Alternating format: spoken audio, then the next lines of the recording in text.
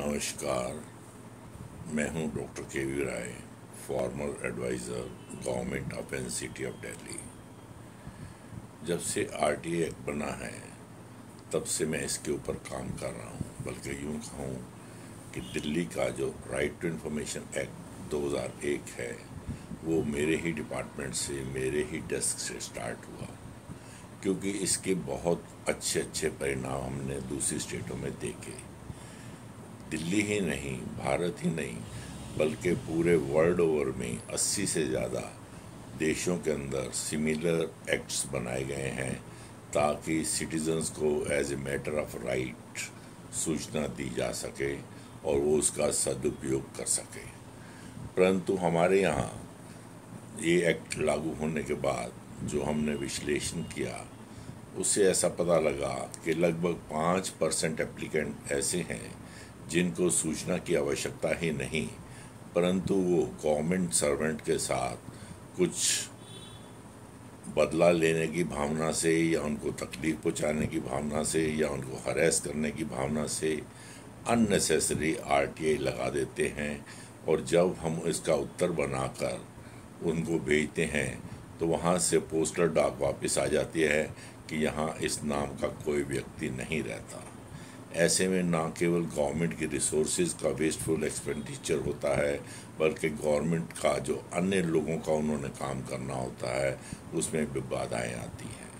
इसलिए हमें सावधान रहने की आवश्यकता है कि हम आरटीआई उसी समय लगाएँ जब उसकी आवश्यकता हमें हो। केवल थर्ड पार्टी को परेशान करने के एंगल से हमें कोई आरटीआई नहीं लगाना चाहिए। दूसरी बात ये देखने में आई है कि बहुत से एप्लीकेंट्स आरटीआई माफिया से हिसाब किताब चुकाने के लिए आरटीआई लगा देते हैं। इसका एंड परिणाम बहुत गलत निकल रहा है। पूरे कंट्री में लगभग तीस से ज़्यादा एप्लीकेंट्स की मौत हो गई है, जिसमें भू माफिया, खनन माफिया, पेट्रोल माफिया इत्यादि ने उनके साथ वारदात करके उनको रस्ते से हटा दिया है। तो ऐसे माफियाओं से भी पंगा लेने की आवश्यकता नहीं है। इसके अलावा बहुत सारे लोगों ने आरटी ऐसी भी लगाई हैं, जिसके साथ गवर्नमेंट सर्वेंट फील करता है कि ही इज़ बीइंग हरेस्ड एक ही सब्जेक्ट मैटर पर, एक ही डिपार्टमेंट में बार बार सेम एप्लीकेशन लगाने का क्या फ़ायदा? जो एप्लीकेशन में आपको पहले सूचना दी है वही एप्लीकेंट को बार बार दी जाएगी। परंतु इसके ऊपर जो है गुजरात इंफॉर्मेशन कमीशन ने बहुत सीरियसली इसको लिया है और लगभग 10 एप्लीकेंट्स को डी बार कर दिया है कि वो भविष्य में आरटीआई के माध्यम से कोई भी एप्लीकेशन नहीं लगाएँगे। हालाँकि आरटीआई के अंदर ऐसा कोई प्रावधान नहीं है, परंतु उन्होंने कुछ हाई कोर्ट्स की जजमेंट्स को हवाला देते हुए ऐसा प्रावधान अपने हित में निकाल लिया है। इसके अलावा गुजरात इन्फॉर्मेशन कमीशन ने किसी एप्लीकेंट के ऊपर पाँच हज़ार रुपये का जुर्माना भी लगाया है। ये भी हालाँकि एक्ट के अंदर प्रावधान नहीं है, परंतु उन्होंने किसी न किसी हाई कोर्ट की जजमेंट की आड़ के अंदर इन चीज़ों को लगाना शुरू कर दिया है। ऐसे में जो है आरटीआई बदनाम होगी आरटीआई के अंदर बाबू जो है परेशान होंगे।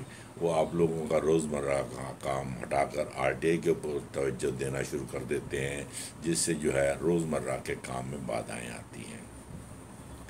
दिल्ली सरकार के अंदर भी दो चार केस ऐसे सामने आए, जिससे एक केस में तो आइडेंटिफाई हो गया कि ये बंदा जो है, ये व्यक्ति जो है, कौन हो सकता है? जो बार बार इस आस्पेक्ट के ऊपर इंफॉर्मेशन मांग रहा है।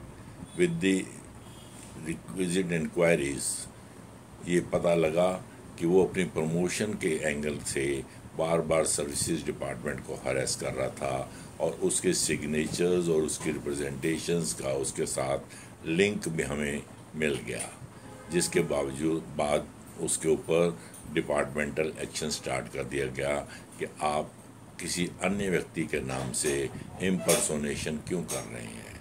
तो इस प्रकार से आरटीआई एक्ट का मिसयूज़ करना जो है, बाबुओं के लिए भी दुखदायी साबित हो जाता है। एमसीडी के अंदर एक डिस्कंटल बाबूजी ने फ्री में आरटीआई लगाने की सोची और वो एमसीडी ऑफ़िस के बाहर बैठ गए, क्योंकि वो खुद ही एमसीडी से परेशान थे। और बार बार क्योंकि इन्स एंड आउट्स जानते हैं, ऐसी इनकन्वीनियंट आरटीआई लगाने लग गए कि जिससे एमसीडी का काम जो है वो बाधक होने लग गया। इस प्रकार से every action has equal and opposite reaction ये थर्ड लॉ ऑफ़ मोशन कहता है। यदि सिटीजन ने आपको परेशान किया तो बाबू लोग उनको परेशान करेंगे।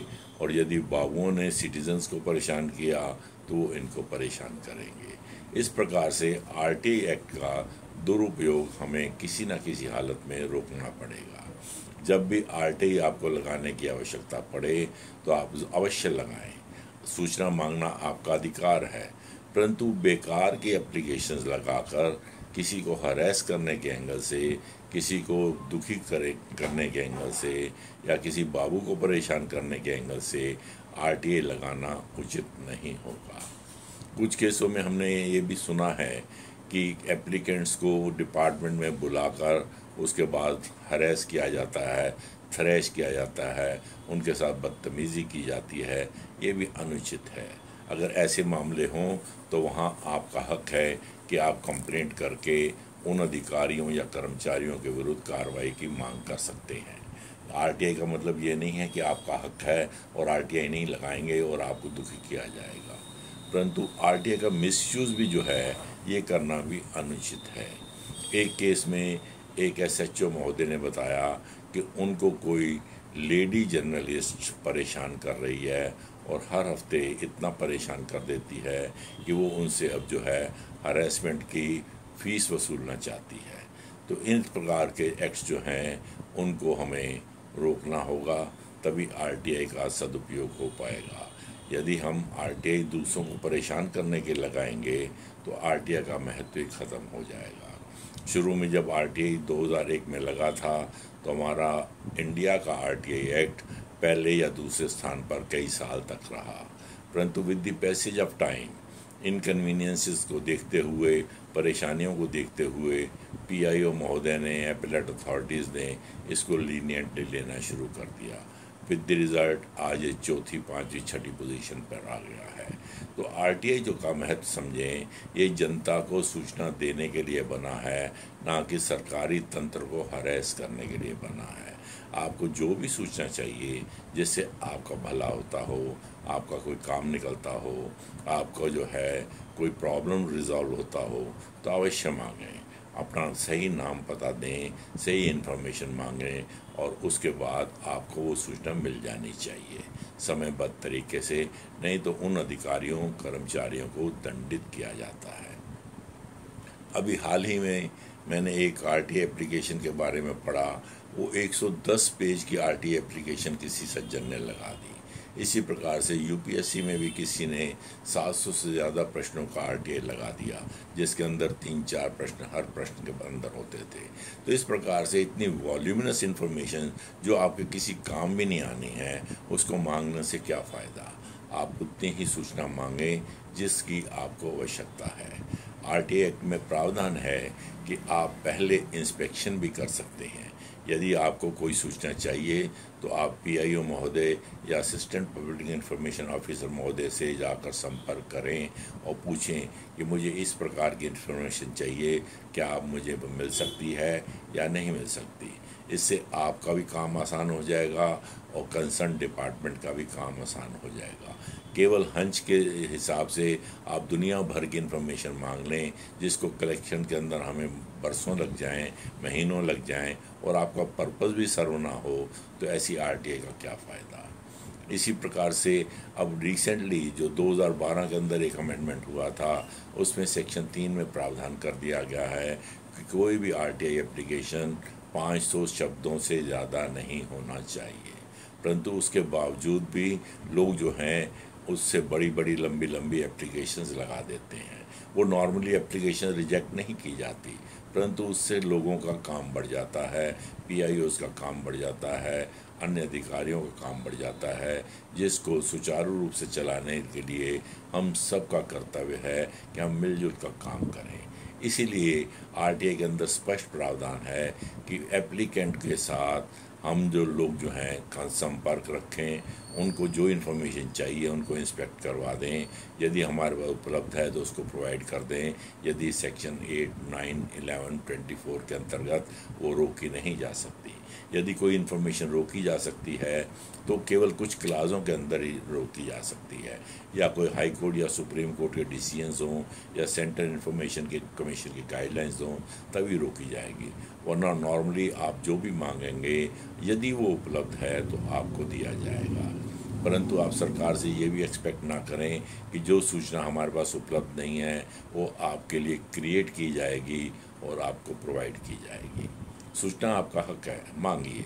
परंतु वही सूचना मांगिए जो सरकारी दस्तावेज़ के अंदर उपलब्ध हो, रिकॉर्ड्स के अंदर उपलब्ध हो, कंप्यूटर्स के अंदर उपलब्ध हो।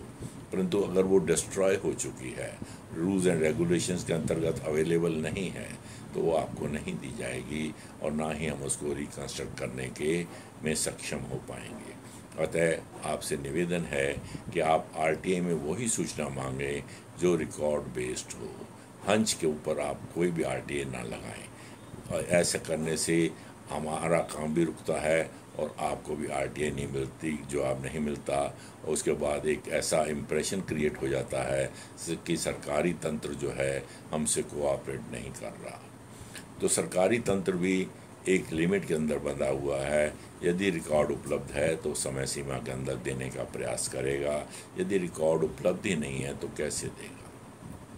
कुछ केसेस में ऐसा भी देखा गया है कि लोगों के पास ऑलरेडी रिकॉर्ड होता है, परंतु वो बार बार उसी को मांग रहे हैं। एक केस मिनिस्ट्री के अंदर ऐसा हुआ कि उन्होंने डिपार्टमेंट से इंफॉर्मेशन मांगी और वो जो अब उसको डिले से मिली तीन चार दिन डिले हो गया तो सेकंड अपील में जाके कहता है सर इन्फॉर्मेशन तो मेरे पास ऑलरेडी उपलब्ध है। मैं तो ये देखना चाहता था कि ये समय के अंदर देते हैं कि नहीं देते। तो इस प्रकार का एग्ज़ामिनेशन लेना या टेस्ट लेने की क्या आवश्यकता है, जिसकी इन्फॉर्मेशन आपके ऑलरेडी पॉकेट्स में अवेलेबल है। तो ऐसे केसों को अवॉइड करने का प्रयास करें।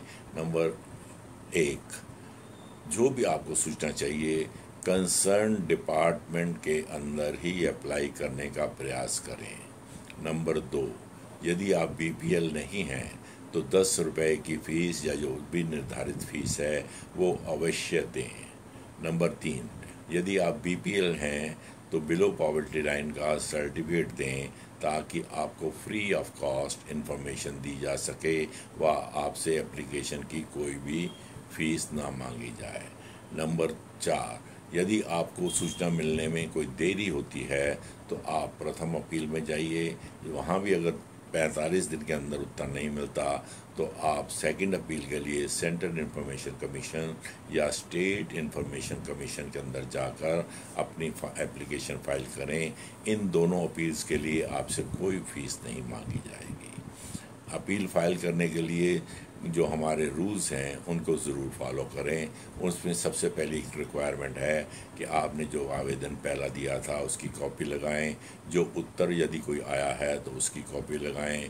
यदि उस उत्तर से संतुष्ट नहीं है तो क्यों संतुष्ट नहीं है? आपको क्या चाहिए? किसका उसके लिए चाहिए? आपको उसका जस्टिफाई करना होगा ताकि हम आपको वो दे सकें। तो इस प्रकार से नियमों का पालन करने से काम जो है सुचारू रूप से चलेगा और आसान हो जाएगा। ना आपको दिक्कत आएगी, न सरकारी तंत्र को दिक्कत आएगी। और आपके एप्लीकेशन समयबद्ध तरीके से निपटाने का प्रयास भी किया जाएगा।